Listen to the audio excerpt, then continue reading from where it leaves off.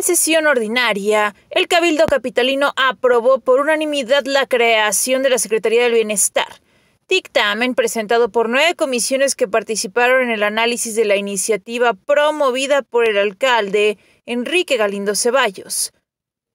La presidenta de la Comisión Permanente de Gobernación, Alexandra Daniela Cid González, ahondó en la transición de la Dirección de Desarrollo Social a dicha secretaría, en el sentido de que se le concederían mayores atribuciones operativas, de reorganización de funciones y fortalecimiento de mecanismos tendientes a la participación ciudadana, así como al combate frontal a la pobreza y marginación.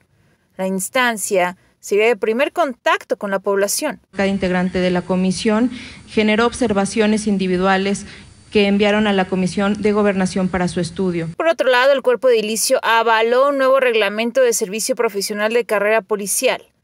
La regidora Daniela Cid recordó que los oficiales de policía nunca están fuera de servicio y deben existir lineamientos que determinen procedimientos de reclutamiento, selección, ingreso y formación, también certificación, permanencia, evaluación, promoción y reconocimiento.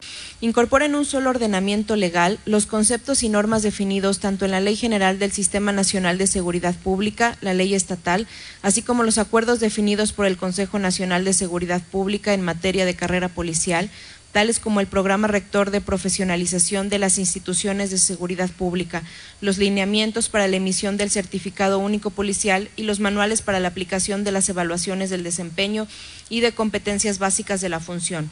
El presidente municipal, Enrique Galindo Ceballos, destacó lo efectuado en la sesión. En conjunto, aprobamos cuestiones de salud pública, de bienestar y de seguridad son tres de los aspectos más sensibles de la ciudad que necesitaban ser atendidos desde el ayuntamiento. No porque antes no lo fueran, sino porque hoy dimos en estas tres materias pasos fundamentales para atenderlos de manera importante.